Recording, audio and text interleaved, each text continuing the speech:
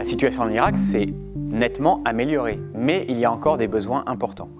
Il y a d'abord encore environ 6,7 millions de personnes qui ont des besoins humanitaires dans le pays. Il y avait 6 millions de personnes déplacées euh, au pire moment il y a 2-3 ans. Désormais, 4 millions sont déjà revenus. Mais il y a encore 2 millions de personnes qui sont toujours des personnes déplacées, qui n'ont pas pu encore rentrer chez elles. C'est évidemment une population particulièrement vulnérable. Géographiquement, c'est notamment toute la plaine de Ninive et le Sinjar qui ont été particulièrement touchés et pour lesquels les besoins sont les plus importants. Et les besoins, classiquement, ce sont à la fois les besoins de sécurité, de déminage, bien sûr, qui est toujours un élément majeur, surtout dans ce genre de situation, et puis les services de base essentiels, l'accès à l'eau, la santé, l'éducation, le logement, qui restent encore des sujets de préoccupation. Il y a vraiment des endroits qui ont été très très très détruits. Quand on regarde ce qui s'est passé à Mossoul ouest, quand on regarde ce qui s'est passé dans le Sinjar, les destructions ont été très importantes et donc il y a là encore plus qu'ailleurs des besoins de reconstruction qui vont prendre bien sûr des années.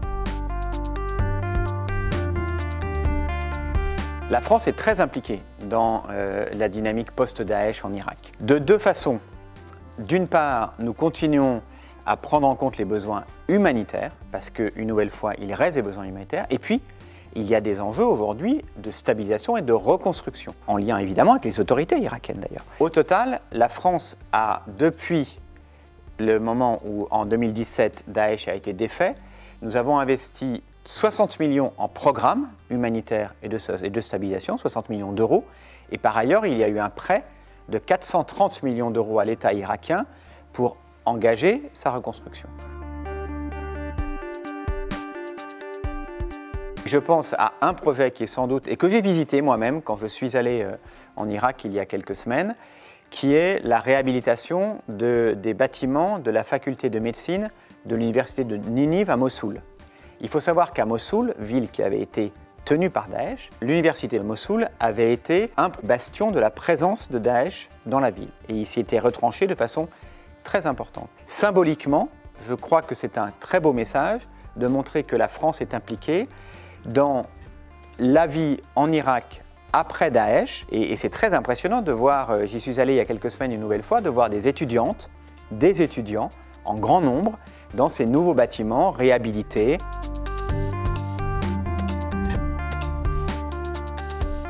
Nous avons un élément important qui est de permettre aux différentes communautés de l'Irak de euh, continuer à enrichir la vie collective en Irak. Il y a évidemment des communautés, une communauté majoritaire, il y a des grandes communautés, il y a des communautés plus minoritaires, plus vulnérables. Je pense notamment évidemment aux populations chrétiennes, mais aussi aux yézidis. Pour ce qui concerne la communauté yézidi, qui a particulièrement souffert de la présence de Daesh, nous avons notamment, euh, à la demande du président de la République, qui a reçu euh, Nadia Mourad, la co-prix Nobel de la paix de cette année, elle-même qui avait été prisonnière de Daesh, elle a demandé deux choses au président de la République. D'une part, que un certain nombre de femmes qui ont vécu plus ou moins la même situation qu'elle et leurs enfants puissent être recueillis en France.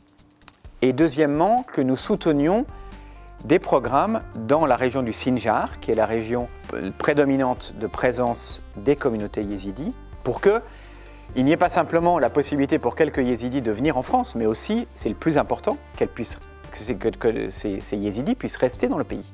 Et donc il y ait des services de base qui leur soient offerts pour que la vie soit possible. Nous avons déjà permis à un premier groupe de femmes yézidis et leurs enfants d'être accueillis en France. Nous avons organisé un premier avion qui est arrivé en France le 20 décembre. Nous sommes en train de travailler avec Nadia Mourad, avec son équipe de la Nadia's Initiative, qui est une organisation qu'elle a, développée euh, récemment, de mettre en place des programmes, notamment dans le secteur de la santé, conjointement. Je ne vais pas encore aller dans les détails, mais nous avançons très concrètement avec Nadia Mourad et ses équipes pour favoriser le retour des populations yézidis dans le Sinjar.